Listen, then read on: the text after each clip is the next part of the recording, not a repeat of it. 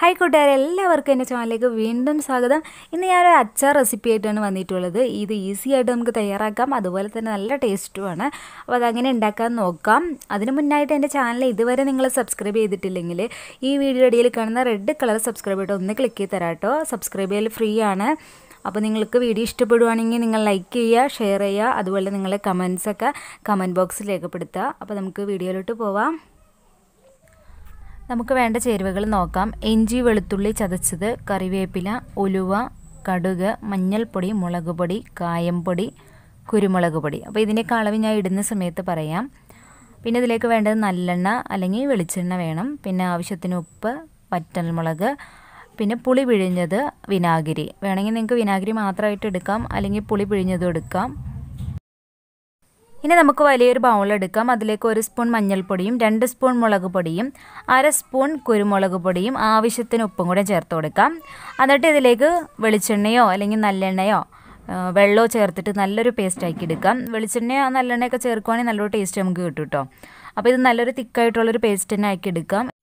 ഇതിലേക്ക് നമുക്ക് മീൻ കഴുകി വെച്ചിരിക്കുന്ന മീൻ ചേർത്ത് കൊടുക്കണം. അപ്പം ഞാൻ വിനാഗിരി വെള്ളത്തിൽ എന്ന് വെച്ചാൽ കുറച്ച് വെള്ളത്തിലേക്ക് കുറച്ച് വിനാഗിരി ഒഴിച്ചിട്ട് അതിൽ മുക്കി വെച്ചിരുന്ന മീനാണ്. അപ്പം നമ്മൾ അങ്ങനെ ചെയ്യുമ്പോൾ നമ്മുടെ മീൻ നല്ല ഫ്രഷ് ആയിട്ട് കിട്ടും നമുക്ക്. അതുപോലെ തന്നെ ഉളുമ്പ് മണമൊക്കെ നമുക്ക് മാറിക്കിട്ടും. അപ്പം ഞാൻ ഒരു കിലോഗ്രാം ചൂര മീനാണ് ഞാൻ ഇവിടെ എടുത്തിട്ടുള്ളത്. അപ്പോൾ അത് ചെറിയ പീസായിട്ടാണ് കട്ട് ചെയ്തേക്കുന്നത്. കാരണം നമ്മൾ അച്ചാറല്ലേ ഉണ്ടാക്കുന്നത്. അപ്പോൾ ചെറിയ പീസായിട്ടാണ് കട്ട് ചെയ്തിട്ടുള്ളത്. ഇനി ഈ മസാലയിൽ നന്നായിട്ട് പെരട്ടി നമ്മൾ കൈ കൊണ്ട് തന്നെ നന്നായിട്ട് പെരട്ടി പിടിപ്പിക്കാം. അതിനുശേഷം ഒരു മണിക്കൂറോളം നമ്മളിങ്ങനെ വെക്കണം. എന്നാലാണ് ആ മസാലയൊക്കെ നന്നായിട്ട് മീനിലേക്ക് പിടിക്കുള്ളൂ. അതിനുശേഷമാണ് നമ്മളത് ഫ്രൈ ചെയ്തെടുക്കുന്നത്. അപ്പോൾ ഇനി നമുക്ക് ഫ്രൈ ചെയ്യാനായിട്ട് നല്ലെണ്ണ ചേർത്ത് കൊടുക്കാം. അപ്പോൾ നല്ലെണ്ണയാണ് ഉപയോഗിക്കുന്നത്. നല്ലെണ്ണ മാത്രം ഉപയോഗിക്കുക. അല്ലെങ്കിൽ വെളിച്ചെണ്ണ ഉപയോഗിക്കുന്നുണ്ടെങ്കിൽ വെളിച്ചെണ്ണ ഉപയോഗിക്കാം കേട്ടോ. അപ്പോൾ നല്ലെണ്ണ ആയിരിക്കും കുറച്ചും കൂടി അച്ചാറൊക്കെ ഇടാനായിട്ട് ബെസ്റ്റ് അപ്പോൾ വെളിച്ചെണ്ണ അല്ലെങ്കിൽ നല്ലെണ്ണ ചൂടായി കഴിയുമ്പോൾ നമുക്ക് അതിലേക്ക് കറിവേപ്പില ചേർത്ത് കൊടുക്കാം. കറിവേപ്പിലയൊക്കെ കുറച്ച് കൂടുതൽ ചേർക്കാം കേട്ടോ നമ്മൾ നാടൻ വിഭവമൊക്കെ ഉണ്ടാക്കുന്ന സമയത്ത് വെളിച്ചെണ്ണ സോറി കറിവേപ്പിലേക്ക് നന്നായിട്ട് ചേർത്ത് കൊടുക്കാം. ഇനി ഇതിലേക്ക് നമുക്ക് നമ്മുടെ മീൻ ഫ്രൈ ചെയ്തെടുക്കാം. അപ്പോൾ ഈ മീൻ നന്നായിട്ട് മൊരിച്ചെടുക്കണം നമ്മൾ അച്ചാർ ഉണ്ടാക്കുന്ന സമയത്ത് മീനൊക്കെ മീനാണെങ്കിലും ഇറച്ചി വയ്ക്കുകയാണെങ്കിലും നന്നായിട്ട് മൊരിച്ചെടുക്കണം എന്നാലാണ് കുറച്ച് നാളത് ഇരിക്കുള്ളൂ. അല്ലെങ്കിൽ പെട്ടെന്നൊക്കെ പൂത്തൊക്കെ പോകാനൊക്കെ സാധ്യതയുണ്ട്. അപ്പോൾ നന്നായിട്ട് മൊരിച്ചെടുക്കുക അപ്പോൾ ഏകദേശം ഇവിടെ നന്നായിട്ട് മൊരിഞ്ഞു കിട്ടിയിട്ടുണ്ട്. ഇത് നമുക്ക് കോരിയെടുത്തിട്ട് അടുത്തത് നമുക്കിടുക അതുപോലെ തന്നെ അപ്പോൾ നമുക്ക് ഇതിൽ ഞാനിവിടെ ചൂരമീനാണ് എടുത്തിട്ടുള്ളത്. ചൂരമീൻ വെച്ചിട്ട് നല്ല ടേസ്റ്റ് തന്നെ ഉണ്ടായിരുന്നു കേട്ടോ. അപ്പോൾ നിങ്ങളെല്ലാവരും ട്രൈ ചെയ്ത് നോക്കണത് എന്നിട്ട് ഫീഡ്ബാക്സ് ഒക്കെ അറിയിക്കണം. അപ്പോൾ ഞാൻ മൊത്തം ഞാൻ വറുത്ത് കോരി മാറ്റിയിട്ടുണ്ട്. അപ്പോൾ ആ വെളിച്ചെണ്ണയിൽ അല്ലെങ്കിൽ ആ നല്ലെണ്ണയിൽ തന്നെ നമുക്ക് ബാക്കി ചെയ്യാം. അപ്പോൾ ഞാനൊരു ഒന്നര സ്പൂൺ കടുകും അതുപോലെ തന്നെ ഒരു ഒന്നര സ്പൂൺ ഉലുവയും കൂടെ പൊട്ടിച്ചെടുത്തിട്ടുണ്ട്.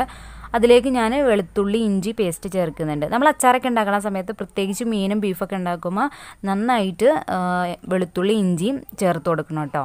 അപ്പോൾ ഇവിടെ ഞാൻ ഉലുവ മുഴുവനായിട്ട് ചേർത്ത് കൊടുത്തത് എന്റെ കയ്യിൽ പൊടി ഇല്ലാത്തതുകൊണ്ടാണ് നിങ്ങൾ പൊടിയാണ് ചേർക്കുന്നതെങ്കിൽ മറ്റുള്ള മസാലപ്പൊടികളൊക്കെ ചേർക്കുന്ന സമയത്ത് ചേർത്താൽ മതി കേട്ടോ അപ്പോൾ ഈ സമയത്ത് ഒരു മൂന്നാൽ വറ്റൽമുളകും കൂടിയും ചേർത്ത് കൊടുക്കാം. അത് നല്ലൊരു ഫ്ലേവർ ആയിരിക്കും. അതുപോലെ തന്നെ കുറച്ച് കറിവേപ്പില കൂടുതൽ ചേർത്ത് കൊടുക്കാം. ഇനി എന്താണ് നമ്മുടെ നല്ലെണ്ണ കുറവായിട്ട് നമുക്ക് തോന്നുന്നുണ്ടെങ്കിൽ കുറച്ചും കൂടി ചേർത്ത് കൊടുക്കാം. ഞാൻ അവിടെ കുറച്ചും കൂടി ചേർത്ത് കൊടുത്തിട്ടുണ്ട്. ഇനി ഇതൊക്കെ നന്നായിട്ട് മൂത്ത് കഴിയണം കേട്ടോ. മൂത്ത് കഴിയുമ്പോൾ നമുക്ക് ഇതിലേക്ക് മുളക് പൊടി ചേർത്ത് കൊടുക്കണം. ഞാനൊരു മൂന്നാൽ സ്പൂൺ മുളക് പൊടിയും ഒരു സ്പൂൺ കുരുമുളക് പൊടിയും ചേർത്ത് കൊടുത്തിട്ടുണ്ട്. അപ്പോൾ ഒന്നുകിൽ കളർ കിട്ടാനായിട്ട് കാശ്മീരി മുളക് പൊടി ചേർത്ത് കൊടുക്കുമ്പോൾ കുറച്ച് അധികം ചേർക്കണം കേട്ടോ. ഞാനിവിടെ സാധാ മുളക് പൊടിയാണ് ചേർത്തിട്ടുള്ളത്. അതുകൊണ്ടാണ് ഒരു മൂന്നാൽ മൂന്നാൽ സ്പൂൺ ചേർത്തിട്ടുള്ളൂ. നല്ല എരിവുണ്ട്. ഇതിലേക്ക് നമുക്ക് ആവശ്യത്തിന് ഉപ്പും കൂടെ ചേർത്ത് കൊടുക്കാം.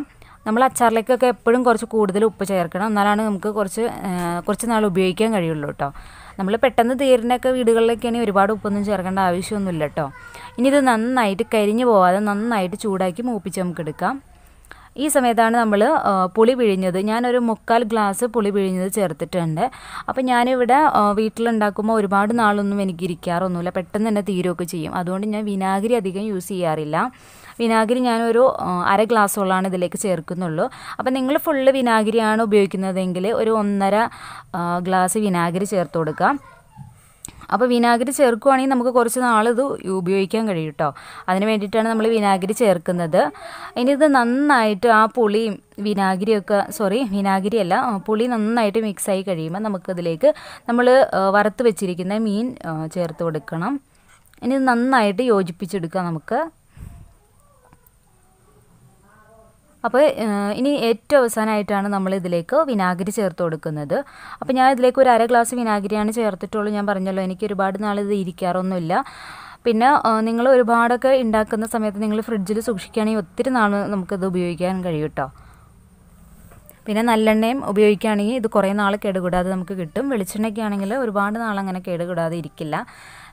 പിന്നെ ആ ഈ സമയത്ത് ഉപ്പൊക്കെ നോക്കുക. ഉപ്പ് പുളിയൊക്കെ നോക്കുക. നമ്മൾ പുളി ചേർത്തതിന്റെ പുളി കുറവാണെങ്കിൽ കുറച്ച് വിനാഗിരിയും കൂടെ ചേർത്ത് കൊടുക്കാം. പിന്നെ കുറച്ച് ഉപ്പും പുളിയും ഇതിന് മുമ്പിൽ നിൽക്കണം കാരണം അച്ചാർ റെഡിയായി കഴിയുമ്പോൾ അതൊരു പാകമായി വന്നെങ്കിൽ കുറച്ച് മുമ്പിൽ തന്നെ നിൽക്കണം കേട്ടോ. അപ്പോൾ നമ്മുടെ അച്ചാർ റെഡിയായി കൊണ്ടിരിക്കുന്നുണ്ട്.